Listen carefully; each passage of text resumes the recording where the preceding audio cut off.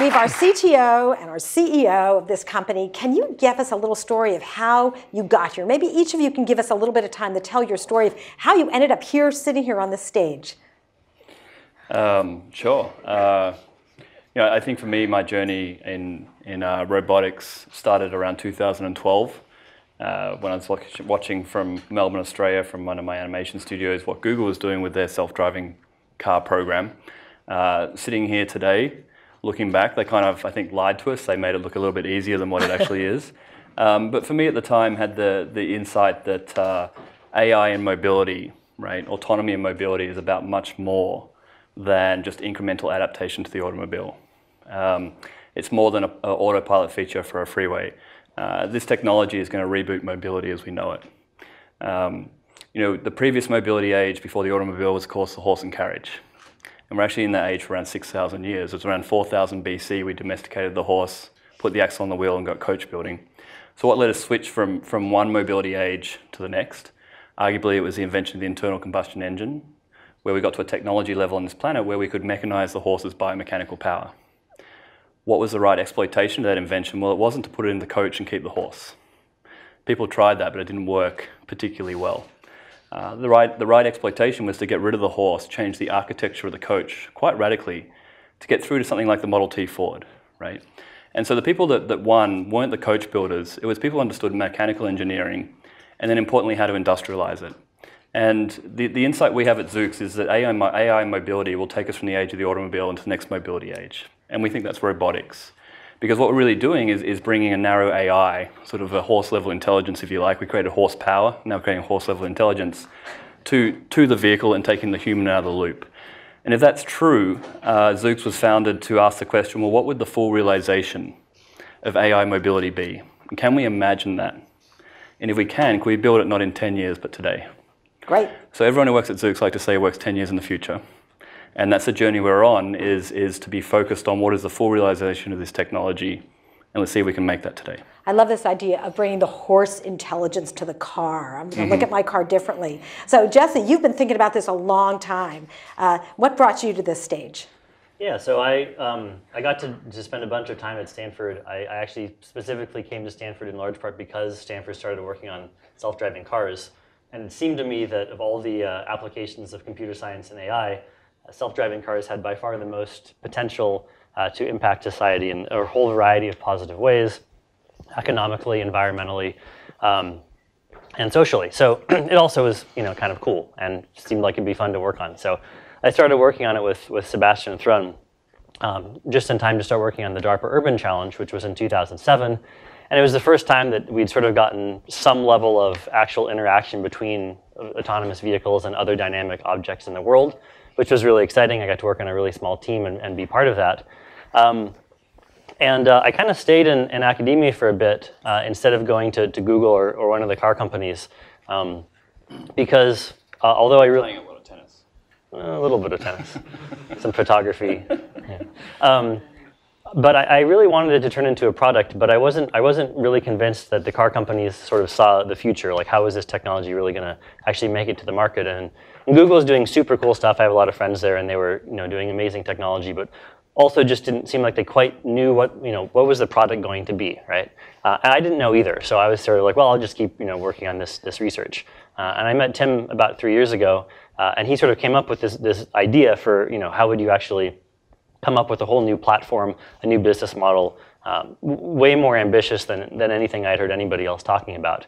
And so my first reaction was, well, this is probably nuts, right? Because it's you know so different. And um, and I spent an hour with Tim, and I was like, well, actually, sounds pretty amazing. Um, and it seemed like it probably was you know the future of, of transportation in cities. So um, we spent a few months get, getting to know each other, and I got really excited because I felt like you know I could take the work that you know some of my team and I had been doing at Stanford, and then actually start to apply it to what what I thought would would in fact be the, the full realization of that technology. So we got started, um, yeah, about you know almost three years ago now. So okay, paint a picture of what the future of autonomous vehicles are. So okay, think about five years from now, and hopefully you'll be launched by then. Ten years, maybe even twenty years. What what's the vision that you guys have for the future? Not to run out of money by then. we have your investors in the room, so uh, we hear them laughing. well, not to be making too much money by then, because we want to keep the blue sky, but uh, hopefully customer adoption. I mean, I think, you know, I mean, Jesse and I, you know, we really started Zoox because we thought it was the best application of our time and talents. You know, we didn't do this because we want to flip the business. We did it because we want to found the future. And so I think for me, you know, what we're working to at Zoox, we're on a five-year vehicle development program, kicked off in 2015. When I say kicked off, I mean kicked off like two guys, one laptop. Um, and we're aiming to conclude that in, in 2020 and be ready to scale a fully autonomous mobility service in cities. And so what I think we're both working for is, you know, being up at the Ferry Building, hopefully in San Francisco, uh, eating at a, a, burger joint and uh, watching uh, one of our ground-up robots going down Embarcadero, picking up a, a customer and taking them to the, where they want to be. You know, I think that's uh, the reward that we're looking for is to create that magical moment. So Jesse, is this true? This is like you're looking at essentially um, mobile robots that are going to pick me up anywhere I want and take me where I want to go. That's the idea. I mean, they're very, they're actually quite intelligent. They have a lot of you know a lot of computing power, a lot of sensors, uh, and I actually hope that they'll be a little smarter than horses. Somewhere in between horses and people. Uh, okay, great. Maybe they'll be even smarter than some people. Well, that would be great. or maybe some drivers. They'll certainly be a lot drivers. more attentive. So, what are the trade offs that you're considering right now as you're developing this technology, right? The hope is to launch when? When, when, when are we going to see these on the road? Uh, well, I mean, we've already launched on our private te- test track actually in 2015. The first seven months, we actually created an on demand, point to point electric autonomous mobility service. So wow. A lot to say, isn't it? Um, that from an app on my phone, you can push a button and the robot will come on that facility, find you, and take you where you want to go. Uh, and then we have a, a, a, very detailed roadmap from now until 2020, where we roll out things. You know, Jesse, we already have, you know, Toyota Highlanders that we've hacked into and taken parasitic control of the ECU and put our own compute and sensors on. We have our license from the state of California, so they're out testing in the field in Menlo Park, actually. Um, and uh, you know, by 2020, we want to we want to create the full the full thing. So I want to paint a picture. I had a chance to chat with you at another time, and so I have this image in my mind of these vehicles that you're creating. And I understand that they're not like anything that we currently see on the road, right? Because if no one's ever, ever going to drive them, they don't need a steering wheel. They don't need a dashboard. They don't need windows. They don't need mirrors. How do you design a product like that from the ground up when you really are not comparing it to something that already exists? Well, I mean, that's that's half the fun, right? Is is if you have a legacy product and you have a steering wheel in there, uh, and you're trying to retrofit fit what I call roof racks. You know, there's a lot of developers out there just putting uh, sensors into the car architecture. You know, I think you're taking a complex product and making it more complex. And then that structure of that vehicle is designed for human vision. So if you take that constraint out and say, well, the, the passenger never has to take physical control of this vehicle, we'll, we'll, that's on us, right?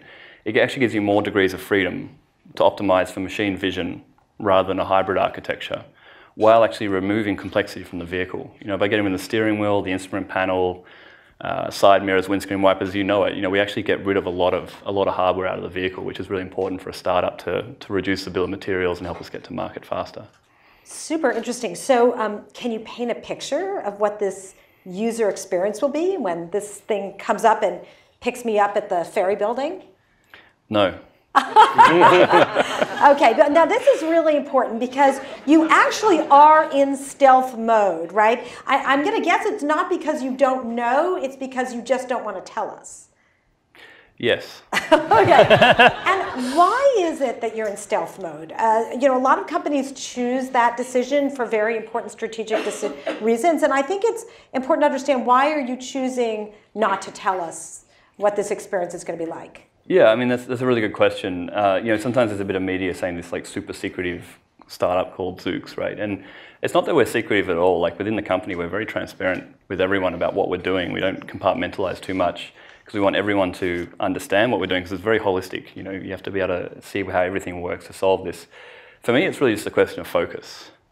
I mean, we, we, we, we've, we've bitten on a lot, a lot. Like, we've got a lot of work to do. And so for me, by being stealth mode, we can just focus on uh, perfecting the fundamental art and science of what it means to create this technology without the distraction of you know going to too many you know this is the first one we've done actually going to you know too many conferences or having to have a rinky-dink website or anything like that you know to me that stuff's just a, a distraction and we really want to focus as a company on what we're doing and um, we also have a point of view on what we're doing you know. And so we part of it is we don't want to say with a megaphone to our competitors, this is how we think this can work, because that's part of our competitive advantage. It might be so crazy that they wouldn't do it anyway. Well, so this but, is but really important, right? A, you, your competitors aren't seeing it, but also your potential customers aren't seeing it and able to give feedback, right? So how do you get feedback and how do you set up the ability to pivot, right? To make some changes if you're going the wrong direction, uh, if, if you're not actually out there sharing what you're doing with the world. Yeah, so I mean, within the company, we do we do do user testing, you know, and we, we make uh, like interior models of the we make uh, models of the interior, and we bring in people, and we have uh, UX researchers that come in and take notes without me there, so I can't influence it, right? All this all this kind of stuff. So so we, we go through we go through that diligence, um, but you know, there's, there's also some pretty good heuristics as well. Like I think, you know, as over in, in Europe, where we've actually built a one-to-one version of, of the vehicle with the industrial design, and you know, unsolicited, when people stand around and look at it, you, you can tell from their reaction that we, we, we have something here. Um, whereas it's very clear when, when people don't like something because they're just not as interested or they feel awkward about it. So we're, we're super excited about what we're building. It's really fun. It's really different. The industrial design, by the way, is not what's you know on the internet from what I, I, I designed a couple of years ago. The DNA is the same in terms of the architecture we're building, but we're actually creating what we call a microbus at Zoox, which is a compact four-seater for urban mobility. So, Jesse, as the CTO and with all of this deep technical knowledge, how much are you actually having to build yourself versus buying off the shelf? Is this something that, okay, all the technology actually already exists and it's just piecing it together in an interesting way, or are you actually, you know, reinventing the wheel? Well, or inventing the wheel. Um, well, it does have wheels, but they're not steering wheels. It, you know, yeah, yeah, yeah. Um, it's it's a it's a mixture, but I think you know one of the things that makes Zoox challenging is that nobody has solved this type of problem before, right? Um, there's a there's a big gap between autonomous sort of features that you can get on a car today, and then true level five mobility, which means you get in a vehicle and it takes you where you want to go, and you really don't have to do anything. And in fact, you can't even do anything other than say where you want to go, or hey, I want to get out of the vehicle. Um, you know, from a uh, from a startup startup's perspective, one of the really exciting things is that we get to do the hardware and the software uh, and the service jointly and holistically. And I think people sometimes don't appreciate how big of an advantage that is. If you look at you know, what Apple did with the iPhone, they didn't just write a new operating system and put it on a Motorola Razr or a BlackBerry. Uh, and they also didn't make a new hardware device that was running Windows Mobile Phone from 2006. They could have done either of those things Uh, but I don't think it would have made nearly the impact on the market that, they were able to achieve with the iPhone. Now, I think with autonomous vehicles, especially fully autonomous vehicles, I think that integration between hardware and software and the user experience is even more important than it was with, with cell phones, right? Um, and so one of the fun things that we get to do, but also the very difficult things, is we get to think holistically about, you know, where do we put sensors? What type of sensors do we need? How much computing power do we need? You know, it's probably more sensors and more computers than you're going to be able to buy on a car in the next couple years because our business model is very different. We don't actually sell these vehicles to customers. We own and operate this fleet, and then you can use them the way you use Uber and Lyft to just hopefully be much better uh, and you know even cheaper to operate because you're not paying the driver. So we do need to develop our own software, our own AI, our own algorithms. We're not using you know, Mobileye or anybody else's AI technology. It's completely developed in-house at Zoox. When it comes to computers and sensors, you know, we, we, as much as possible, buy things off the shelf or work with technology partners to, you know, get access to their, their upcoming products. And then when it comes to the sort of physical mechatronic layer of the vehicle, it's also really powerful that, that we get to design a level of robustness and some amount of fail operational into that design that cars today are not built for. Cars today are not built to drive 100,000 miles a year for four years. And they're also not designed to be necessarily safe when a whole bunch of components might fail.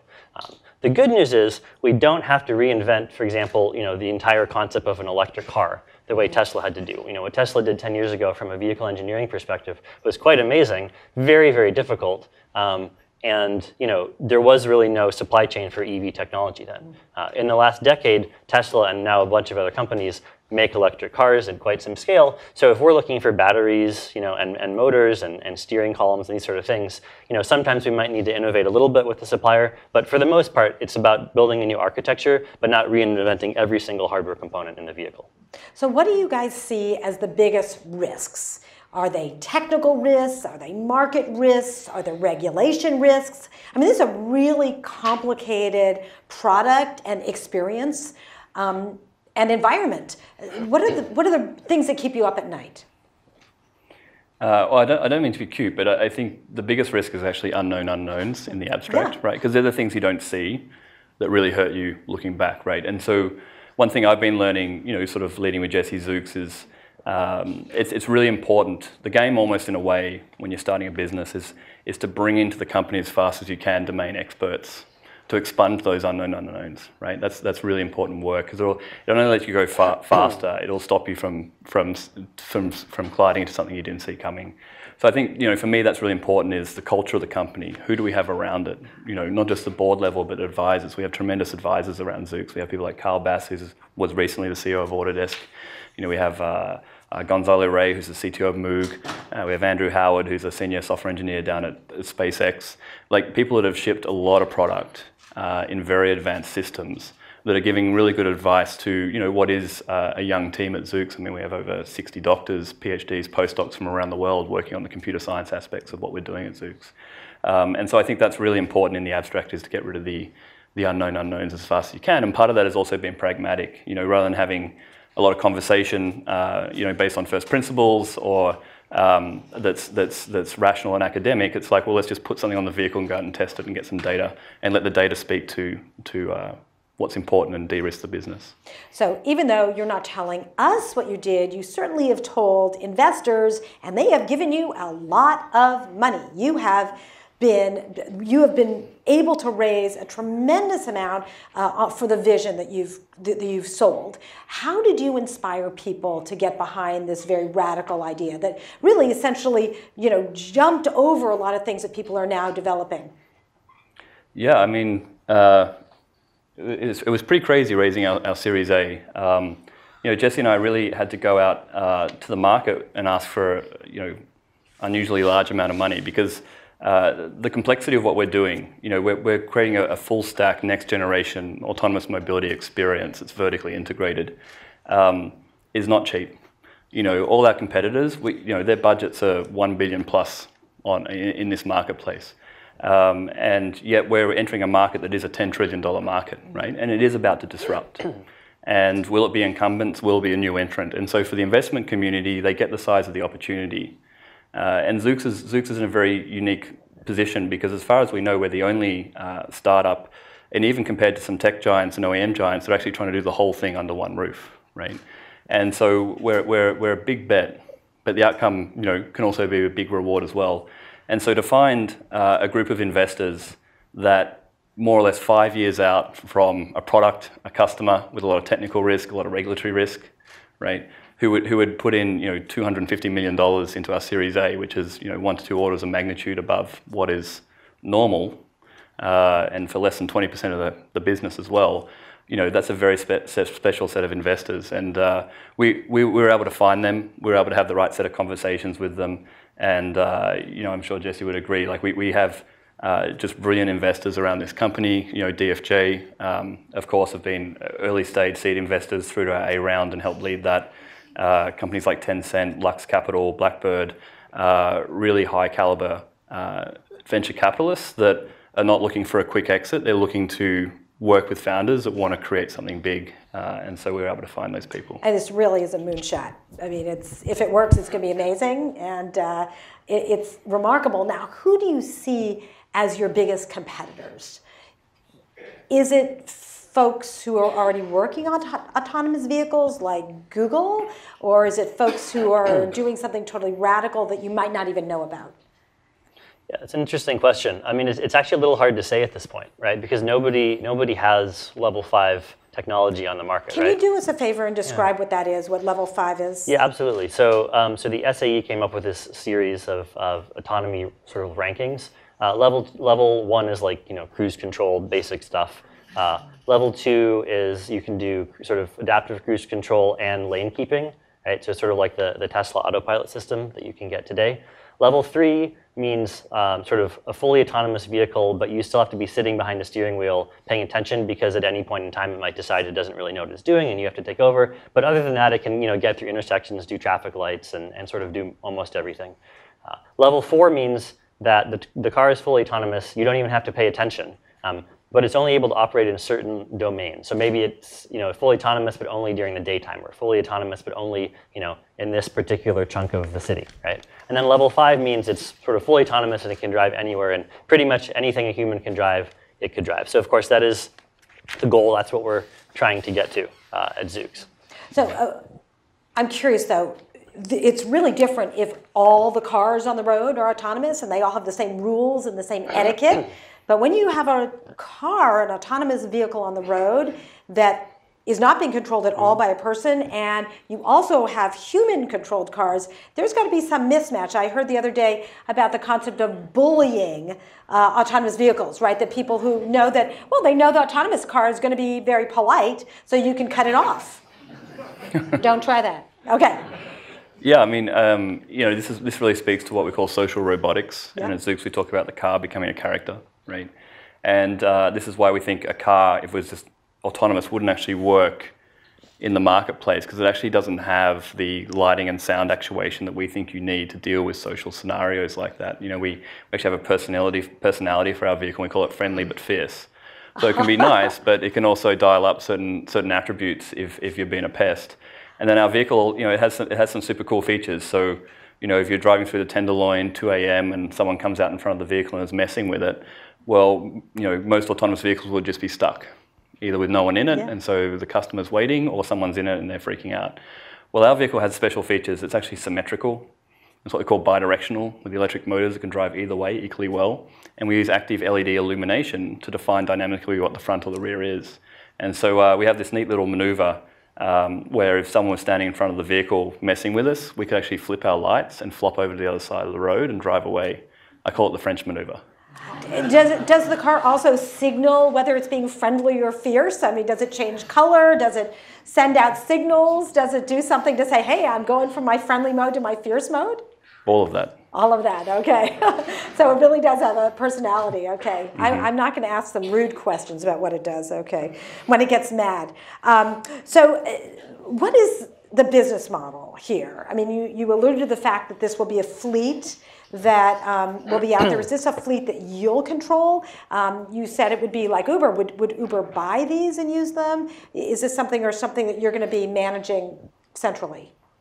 Well, I mean, companies like Uber traditionally don't like capex on their balance sheet, so um, that's something for them to, to answer. But I, I think uh, you know, there's, there's two ways to look at this. Uh, one is through technology, and one is through social. You know, I think on a social level, uh, there's, there's clear trend lines in, in mega cities that young people or people who live in cities don't want to own a car. It's a pain. I don't want to have to park it, I don't have to do it with insurance. And what I really want is on demand mobility where I push a button, it picks me up and takes me where I want to be, and that's it. And that's really the mission statement of our company is connecting people and places, right? We, we love connection and we want to and we want to have a physicality to how that is. And so I, th- I think people people don't want to own uh, the vehicle; they just want to pay for what they use. And we actually like that as a company because what's happening is with these, these advanced uh, AI systems, they require continuous improvement by a large team of software engineers and, and a lot of computation happening in the cloud and a lot of data coming off them, and that costs money. And so if you have the automotive model, which is, you know, if you're a tier one like Bosch and you work on a rack and pinion steering system and you might spend four years writing some carefully coded firmware that goes on that system and you sell it once to an OEM who then sells it to, uh, to a, a, customer once and they monetize once. I mean, if you need to continuously update that software, you've got no way to pay for it. Mm-hmm. Whereas these vehicles will have over-the-air updates going out to them, you know, at, qu- at quite a high frequency. And so you actually need the subscription model of getting paid per mile to actually fund the updating of your robots because they, they, they, have, they have almost like living code on them. And so it's good in that people don't want to own cars who live in cities. They want on demand and pay per use. And it's great for us because that helps us make the product better. They're just going to keep evolving. And it's, and it's also a much better use of, of materials, right? Because we all know, well, you don't all know, but uh, people who work in the industry know that you know cars are actually driven 4% of the day on average. So 96% of the time, yep. all the resources put in that product sit idle. And so I love the idea that if you're not using this product, someone else is, right? And so again, this is why you do ground up, because you need to solve a product that's going to drive 16 hours of the day, 365 days of the year. As Jesse mentioned, that's 100,000, 130,000 miles. And so if you think you're going to get that just by retrofitting a car, good luck to you, right? You need to, you need to create a purpose-built architecture and product experience to solve for that. And, and you know, to add to that, you know, this technology changes very quickly, right? I mean, people are used to buying a car and owning it for 10 years or so, right? The technology that people are putting into to autonomous driving today, you know, in 10 years is going to be pretty obsolete, right? If you look at the cell phone that you had 10 years ago, it certainly wasn't an iPhone because they actually didn't have iPhones 10 years ago. Although I'll, I'll only be able to say that for another month. Um, um, but you know, it's it's, it's kind of crazy this the idea you, you know you buy a car and you buy a fifty thousand dollar car, you know, a Tesla eighty hundred thousand dollar car, right? And you know, it has several thousand dollars of, of computers and sensors in it, and it's super cool, right? It's like by far the best system on the market. But you know, in five years, 10 years, like it's not, it's not gonna be very useful anymore. And so one of the things that we're excited about is that if we own and operate our fleets, we can continuously upgrade the technology as it, you know, as it changes every year or two, which would be very frustrating if you bought a car and then a couple years later you're like, ah, not so much. Is this dependent upon any changes in the ambient infrastructure that I mean, changes in the roads or changes in communication networks that you're dependent upon? Yes, when Zoox launches, we need to ban all cars from America. that would make our job a lot easier because the problem is not really us; it's people hitting us, right? And so, so that you know, Jesse can speak to this, but the technology is is designed to work in a mixed mode environment in cities, and we're not really looking to uh, the local mayor to uh, roll out the bank check to change the infrastructure of the city. That would be prohibitive. And so, so you know, if if, you, if your goal was to uh, create a self-driving vehicle for like a car park, you know, Disneyland or a campus, uh, you could really lightweight the vehicle. And in fact, Zoox built that in 2015. Um, our, our ambition is to create, you know, uh, a ground-up vehicle that will have five-star crash safety. It will have airbags in it. Uh, it will go from a surface street to a freeway and it'll deal with harsh weather. So this is a full stack hardware product that if we get right, can scale in the marketplace place, uh, very quickly. Interesting. In a few minutes, I'm going to open up for questions from the audience. So start thinking about the hardest questions you have for these guys. Yeah. I'll just add one, one extra thought to that. You know, it, sometimes people say, wouldn't your problem be so much easier if you had vehicle-to-vehicle communication or vehicle-to infrastructure? And you know, what if cities were willing to spend hundreds of millions of dollars and had all these fancy features? Um, and, and the reality is, well, first of all, that's just not happening in the next few years, no matter what, even if we wanted it. And then second of all, it wouldn't make our lives as much easier as you might think. Because even if every other car on the road had V2V technology, and even if cities had all this fancy infrastructure, your vehicle still needs to see bicyclists and pedestrians and all these other dynamic entities in the world that definitely aren't going to have this type of technology on them. So no matter what, you have to build a perception system that can see the world around you and make sense of it. So you need the sensing and the, and the AI and the understanding. And if you sort of need to understand that anyway, then you know, understanding cars is just sort of one extra thing you need to understand. Now we know that with all technology, there's a dark side, right? If we think about cars in general, it led to urban sprawl and air pollution. Uh, are you thinking about the dark side, the downside, the consequences of this technology, and uh, how are you, or are you doing anything to try to mitigate that? So, what are the things you're concerned about, and how are you thinking about that? Yeah, I mean, I'm, I mean, I'm personally pretty optimistic about the technology. You know, otherwise I wouldn't be doing it. Um, you know, it is true that the car was seen as, as, as clean and solving the problem of a lot of horse pollution yeah. that was happening in, in towns because there's so many horses, you know. Um, uh, but, you know, this is one of the reasons, you know, some of our competitors, for example, are fielding vehicles that have internal combustion engines. I mean, we're pure EV. Because for, for us, you know, in our most dense urban areas, you know, and the United Nations predicts that in 2050, 75% of the world's population, they're going to live in dense urban areas. And so we want that to be safe. We want it to be clean. We want people to be able to jog and not be getting tailpipe emissions, right? Uh, and we want it to be ac access for the whole community, low cost. Um, and we want it to be a wonderful product experience, you know, which is something we're also very passionate about at Zoox as well. And so I think, I, I think for us, there's there's a lot of positives. I think some of the negatives are, as you said, there's always yin and yang to life right? And so when you have a new technology, it is going to displace some other incumbent industries. And in, in Silicon Valley, I've been living here for two and a half years, it's, it's called disruptive technologies, right? But I kind of react against that, that term because I'm like, I'm not really creating a disruptive company, I'm creating a constructive company. You know, for a new business to get up in the marketplace, I think it has to be an order of magnitude at least better and ahead of the competition, right? And so you're actually making things better, but there's also loss in that. And so you might have uh, some unemployment from professional drivers like taxis and this sort of thing. Um, but you need to look at the, the entire system of a city, for example. You know, um, if, if you're able to make that city, city drive more efficiently, be, be more safe, uh, and, and, a better, and a better service for a city of 4 million people, then that's a win. And by creating that technology, you create new stratas of jobs. And this is something that people often don't see, is they just see the jobs that have been lost, but they don't see the jobs that have been created. I mean, when was the personal computer invented? You know, 1976, right? And we, we employ probably over you know 100 computer scientists. Those jobs didn't exist when that thing was invented, right? And so you, you also need to look at there will be displacement, but there'll be new new economies created. Uh, there'll be cottage industries of people cleaning these vehicles, recharging them, right? And and even though they're they're more utilized, you're going to be making more of them. There's a lot more cars made today than horses and carriages were ever built. And it'll be the same with these robotic systems. They will increase the size of the market. Do you anticipate this essentially obliterating the traditional car industries? Will people uh, still have a car? I, I, think you'll, I think you'll see personal car ownership dropping, and it's actually been dropping for, for decades in any event. Um, because people who live in cities, you know, the, the, big the big mega cities, they don't want to own a car. It's it's a pain, right? And so we're helping solve solve that problem. You know, I think on a on a time horizon of uh, you know, multiple decades, yeah, people won't be able to drive a car. It'll be considered too dangerous, you know, and people won't have those skills anymore. You know, just like how many, how many people in this room, and this might be a bit biased because Woodside's not too far away, but how, how many people in this room actually know how to ride a horse? Okay, that's a lot. Next question. yeah, how about a pogo stick? I don't know. But uh, okay, let's uh, let's get some burning questions, and I'm going to focus on students first. Okay, great. Back in the corner, back corner. I have like two questions. First. I mean, what, when you're in a car, you kind of like have, if you have an accident or if you have somebody coming, you have the human, you just stop, you know, who has reaction. Your car has two modes. A human being has more than two modes when he drives. So how do you, if it's with like a human being behind a wheel in your car, how do you stop the impact? You know, if there's an accident that can be created. So is the question, how do you deal with an accident or how do you prevent an accident? How do you prevent it? Because when it's two human beings behind wheels, they have like emotions, reaction. a, a robot has no emotions. Okay, so what do you do to prevent accidents? Well, so the, so the good news is that 96% of accidents are caused by human error, right?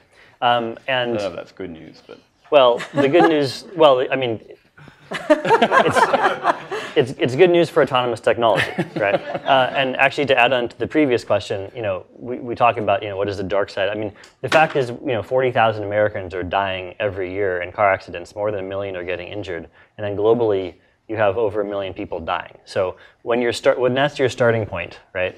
There's there's a long lot of ways uh, to to improve that technology. Um, the the self-driving vehicles have 360 degree sensing coverage. Uh, they're able to detect not only with cameras to see sort of visually what things are, but they also have depth sensing, right? So you might have radar, you might have LiDAR. These are technologies that can see where things are in 3D space.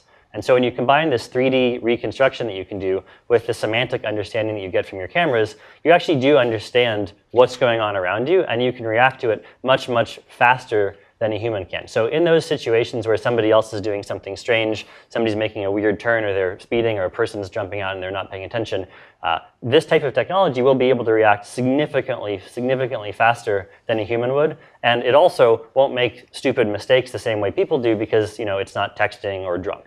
So, right? So, so although, you know, there are very, very rare circumstances where, you know, some of this sort of emotional stuff might come into a play, I think we can get rid of probably around 95% of accidents just by being attentive uh, and not doing stupid things. Uh, and then for that last 5%, then you start looking at you know really advanced AI and you know do you understand people's gestures and you know emotions and that's a bit farther out, but I think we can make at least an order of magnitude improvement before we get to that level of, of AI.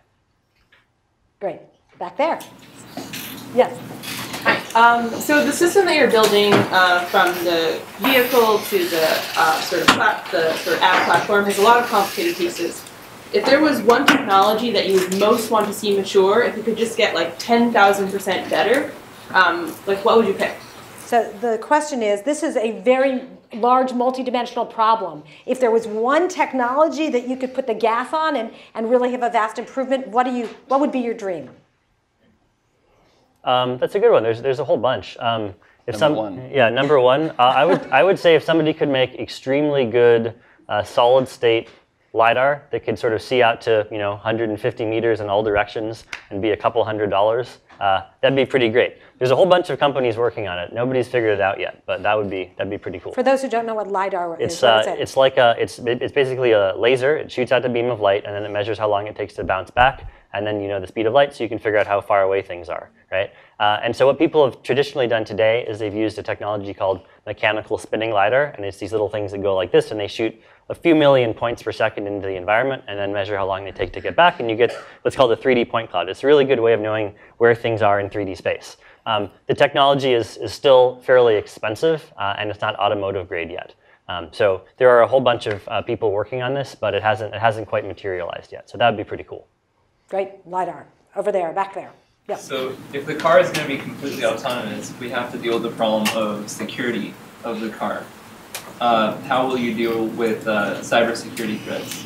So how will you deal with cybersecurity threats? Yeah, that's a that's a really good question. So I think there's sort of two two uh, two answers that are sort of technical, and then one that's social. And the social one is that you know messing with these things is a pretty pretty bad thing to do. Uh, and I think there will be a series of, of law. I mean, there already are laws, but I think there'll be even more laws that make it extremely undesirable uh, to mess with this stuff. Um, but from a technical perspective, there's sort of two things you can do.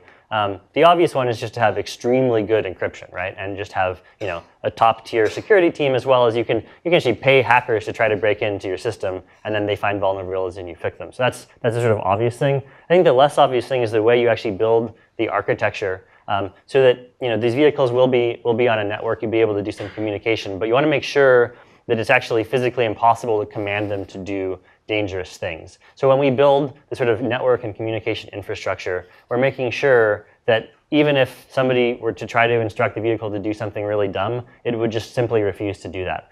All the computation is actually happening locally on the vehicle, right? All the sensing, it's all happening locally, right? It's not like you're sending your sensor data over the network and then it's deciding what to do and it's sending that back, right? And so the vehicle is basically going to refuse to, to obey any type of a dangerous command, even if a hacker were to intercept it. So that would be how we would handle it. But it's, an, it's really obviously an, an, an important topic and it's one we take very seriously.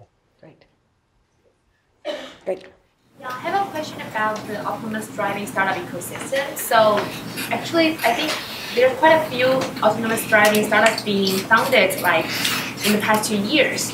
And actually, it's quite a complicated thing to do autonomous driving. It needs time, talent, and a lot of money and you know resources.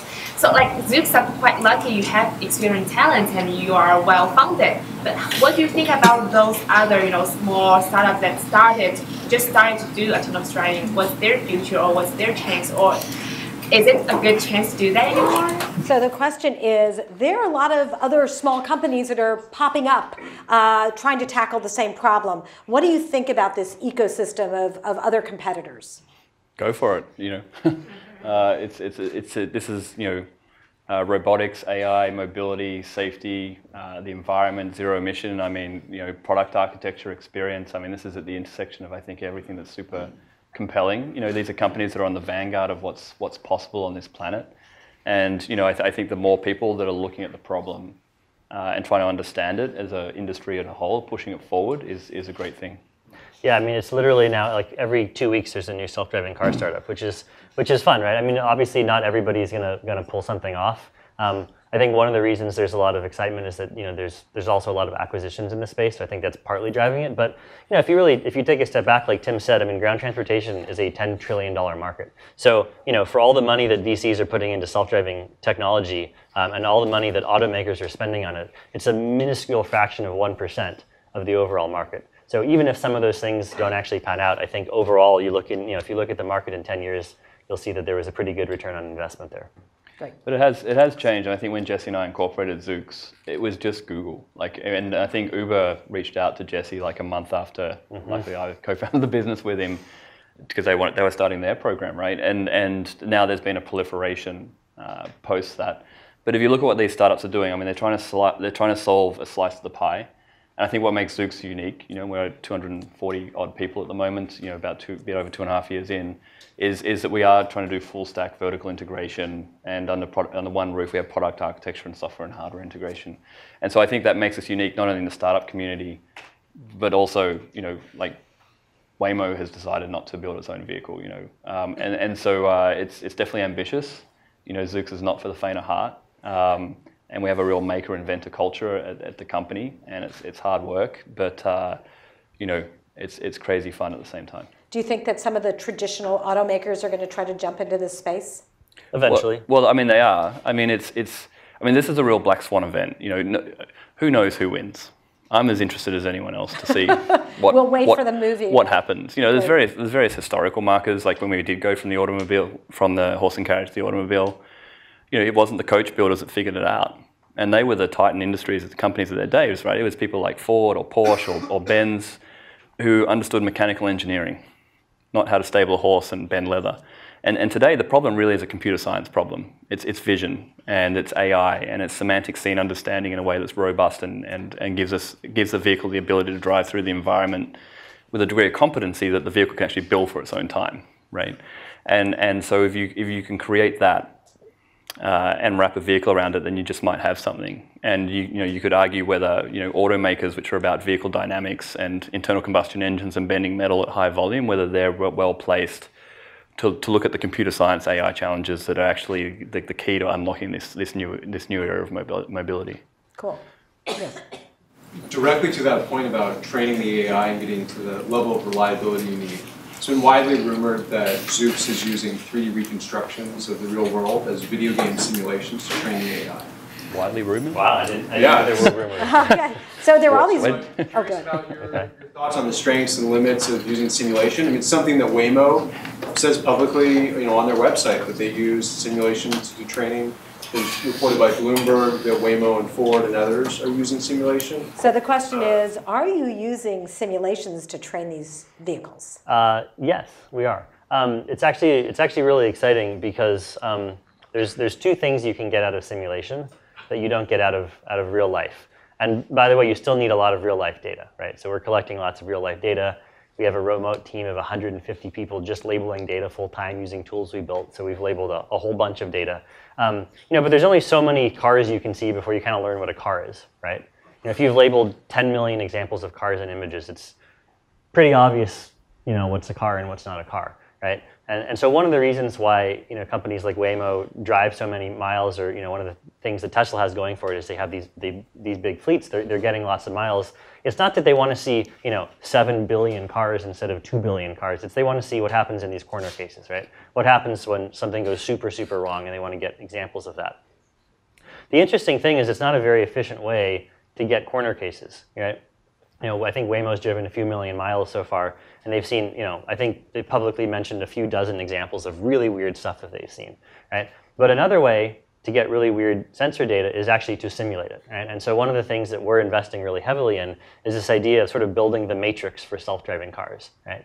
And when we talk about simulation, we don't just mean, you know, sort of the planning level simulation. I mean, we mean down to, as you were, I guess, it's been widely rumored apparently, right? Um, actually recreating, you know, sort of 3D models of dynamic models of cities where you can generate synthetic LiDAR data, synthetic camera data, synthetic radar data. And then you actually run your entire vehicle's AI driving software in that virtual world. And then you can see how all of the software interacts. Because usually when something goes wrong, it's not just one thing failing. It's usually there was some weird object and some sensor failed and this other thing happened. It's usually two or three things, you know, interacting that cause the problem. And so we can simulate a lot of those things happening at the same time, and then we can see how the vehicle would react, and then we can try to change the software and make it better.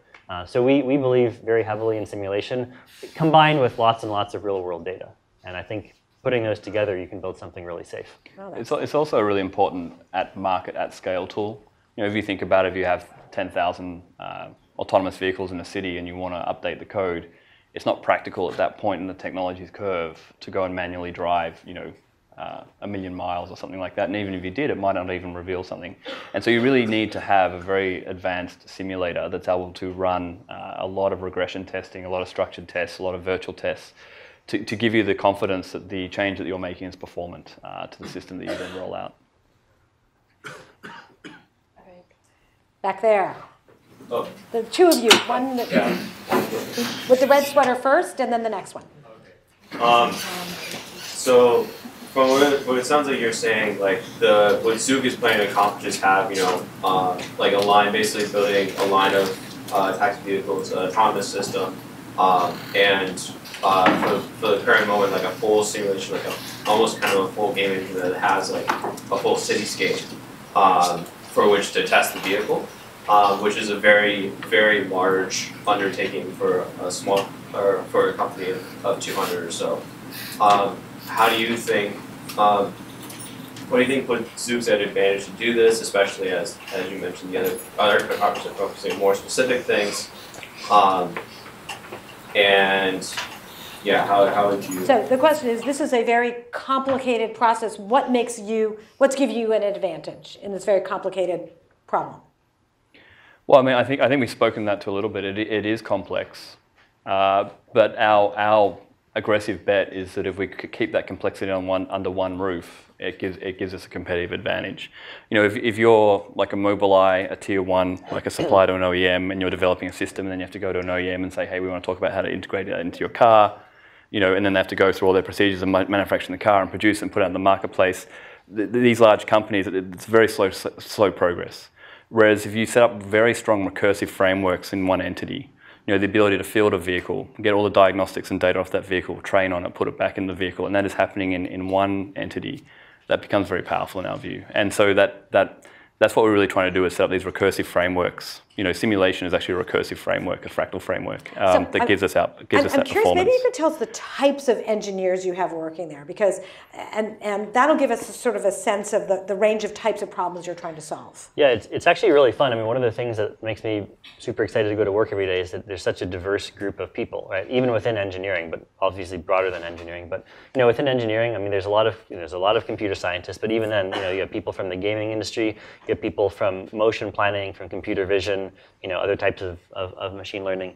You have people, you know, we, we have an amazing infrastructure team, right? We realized about a year ago, like, crap, we, we, we sort of need, you know, almost Google level infrastructure if we want to you know do this stuff seriously. Now we're not literally building Google level infrastructure, but we're also building a lot more infrastructure than you typically see at a startup, right? So we're building a computing cluster with you know many many hundreds of NVIDIA you know Pascal Titan X GPUs, right? Stuff like that, right? So we have a you know whole infrastructure team, people used to building that kind of stuff.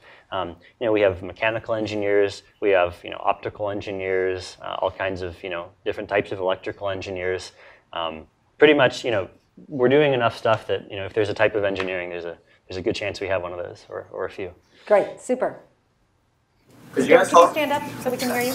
Could you talk uh, talk about a defining moment uh, that has shaped you to who you are today, whether it be professionally or temperamentally? Great, I love that question. A defining moment in your career that shaped who you are today. oh gosh. Well, I I want to just say, so Tim, this is interesting, right? You came from a very, very, very different background. I mean, it's probably it's And probably then- when I was my my uh, grade two at school. Yeah, what happened? Um, I, I was kept down a year because I spelt cat with a K. That's because you have all these K's in your name. you know? Yeah, um, well, that's, that's part of it actually. But but yeah, it was uh, you know so my take home message there was all Tim's just dumb, right? But um, maybe I am, maybe I'm not. We'll find out. But uh, but that was that was sort of that sort of really got me thinking about how things work on, on deeper levels. Why did that happen? And uh, did you feel like you had to prove something, or it just was? Did you come away thinking you were a creative thinker? Um, yeah, definitely. I think you know through my through my younger years, you, de- you definitely you know have something to show and something to prove. I think when that happens. Great. yeah. Did you go back and talk to your second grade teacher? I don't think she particularly wanted to talk to me. I was it's not the most well disciplined child. Uh huh. Okay. Well, we know a lot of those in this room too. So, uh, Jesse, a defining moment. Hmm, that's a that's a tough one. I think one one that stands out for me was the the night before the 2007 DARPA Urban Challenge. Uh, you know, there was we were a very small team at Stanford. I think there were only four of us who actually wrote the code for for our vehicle, and DARPA had told us that um, you know they were um, they weren't going to give us the digital map file until the morning of the race. Um, but then they decided the night before they'd give everybody the map file just to make sure there's no surprises, right? Um, but we had frozen our code several days before and we weren't touching anything. And they gave us the map file. And it turned out that it had about 20 times more of these sort of digital waypoints than, than we thought it would have. Because every file they'd given us previously, if there was a straight road, there'd just be one waypoint at the beginning and one at the end, and that was it. And all of a sudden, this file had every meter there was a waypoint. Uh, and so we tried to load it, and it was just too slow, and, and the entire thing didn't work. It was like you know 11 p.m. and the race was the next morning, and we're like, well, this is this is not good, right? Um, so it was actually just a really fun three hours because we had to come up with a whole new set Sounds of algorithms. really fun. It was super fun. uh, we we had to come up with a whole new algorithm to like parse that file and search the search the, the road network uh, and then sort of test it and then sort of hope it would work the next morning. And it was actually fun because we had sort of all these sort of technical arguments like, well, should we do it this way or that way? And I sort of made my case and Sebastian, my advisor, said, said, okay, I think I think yours makes sense. Let's go try it. So I, I, I, coded it up, and it sort of you know seemed like it worked. And then we ran it the next day, and, and it actually worked. And then you know we got to watch our robot car drive you know for um, six hours and not screw up at all, and, and come back to the end. And to me, that was really exciting because I think before that before that race, it was like, you know, is any of this stuff even going to work, or is it just too hard? And then you you know you see it do those six hours, and you see it come back, and you're like that was the first time where I felt like, you know, obviously there was tons of work to do, but it was the first time where I felt like, hey, this is really possible, and it's coming, you know, at some point in the future. That's great. Well, so let's let's then talk about the business for for a few minutes. You guys are co-founders. You come from really different backgrounds, different areas of expertise. How do you work together as co-founders, especially if you have different points of view about something? How, how does that work out? Well, one, one sort of neat thing I learned from Jesse is he has this really cool way of communicating in that, um, you know, if we're discussing something, he'll go, yeah, I don't feel strongly about that. I'm like, cool. or sometimes he'll say, oh, I feel quite strongly about that. We'll talk about it. And so on. Sometimes he'll say, I feel very strongly this is not the right thing to do. And so it's kind of nice that there's this sort of scale, right? And, and uh, when we both feel very, and it's not often that we actually feel very strongly that this is the wrong thing to do with each other. You know, so the first thing I think you need is, is mutual respect, so you can listen to the person. And then I think when you do get to that situation where you both feel very strongly about something, you know, you really need to go back to first principles and decompose the problem and why it is. And unfortunately for me, you know, Jesse's one of the most rational people that I've ever met, and so so that's that's a, that's a good way to process it. And sometimes sometimes the answer is, you know, well, well, let's just go and explore that thing and see what happens. And if we're wrong, it's not the end of the world, you know. Or or let's go and get some data to see how that that works. So Jesse, that is a very mature thing, that idea of sort of making it clear what things are important and not important. Mm-hmm. Where did you learn that? That's a, that's a good question. I don't know. I think I've had uh, pretty good role models, both of my parents. My mom's here, hi. Um, you know, we're, we're pretty good at, you know, encouraging me to be inquisitive. You know, I think that's part of it comes from being inquisitive and also part of it comes from just trying to be reasonable, right? And not saying, okay, I have to get my way all the time, right? And, and you know, I think you know, sort of my answer to that question, and I like your answer, but you know, I think for me as well, it's um, it's about actually genuinely respecting each other, right? And it doesn't, you know, respect doesn't mean that you know you always defer to the other person or you assume they're always right. It doesn't mean that at all, um, and it doesn't mean that you're both equally skilled in all areas. But it means that I think, you know, in our case, if we do disagree, we assume, I think, a couple things that are important. So first of all, that we're both being genuine, right? I never question Tim's intentions or why is he saying something or has he been being misleading, right? Sometimes I'm like, hey, I don't agree with you on that, but I don't have to worry if there's you know some ulterior motive or any of that kind of crap. Because I think if you have to deal with that level of uncertainty or distrust, I don't think you can make something like this work. Um, and then the other is you know, Tim's a super smart guy, and I, I, it only took me about an hour of meeting him to realize that even though he didn't come from sort of the traditional engineering background, like it doesn't really matter at the end of the day, right? A lot of what we're doing is about coming up with new architectures and coming up with you know creative solutions to technical problems. And, and if you can reason from first principles which tim is extremely good at it you know it doesn't necessarily matter if you know if he can't you know code up something in c++ that's a little bit beside the point. So i think you know one of the reasons why we're able to work together is even in very technical areas we can have you know a fun three hour conversation back and forth. And and i think you know tim is and sometimes frustratingly good at you know keeping up. Um, and you know he doesn't he doesn't sort of take uh, you know anybody's anybody's statement just you know verbatim he's always thinking for himself which again every once in a while that's frustrating but it's actually an amazingly good quality uh, in a ceo so. i mean one, one thing i'd add to that is is uh, it, it's okay for there to be conflict it's how you process it, right? Like what Zoox is doing has never been done before.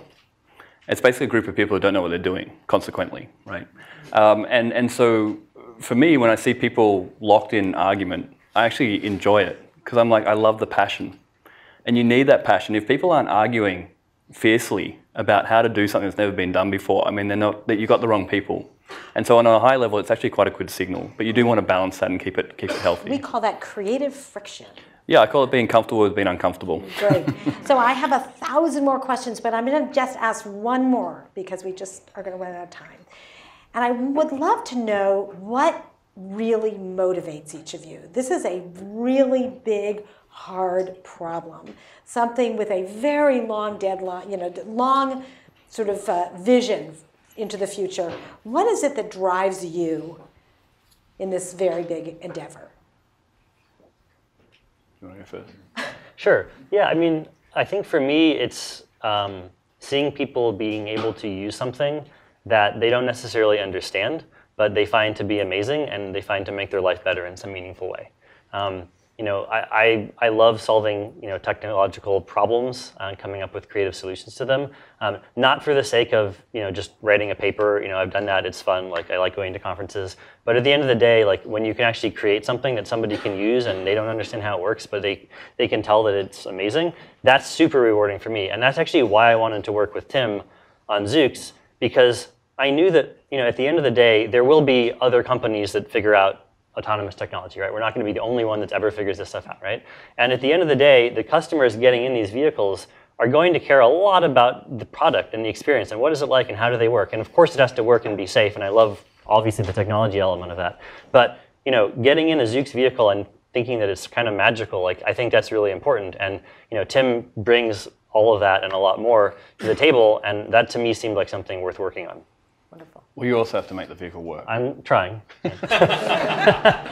um, and, so, yeah, I mean, for me, it's that. It's it's it's uh, you know connecting people and places. But for me, it's also it's also uh, you know I have a background in animation, and what we're really doing here is is is animating matter, and we're animating in a way that it becomes independent from us. You know, Silicon Valley was founded on computation. Silicon Valley, right? In a way, that computation now is being plugged into sensors and algorithms that can make sense semantically of what's happening around it, and that's going down to electric, electro, electromechanical actuation. And that feedback loop can dri drive a device through the environment, that's robotics. And so I, I, find that fascinating as an animator and a creative person is to figure out spatially and geometrically how to solve that product. And, and ultimately, I think that's important for cities today but it's also important, you know, for, for, for expanding possible of what's possible on this planet. You know, um, it's, it's like to say, you know, we're going to create autonomous mobility and then explore the universe, because ultimately I think that's where intelligent robots go. Wow. Thank you so much for animating us. Thank you.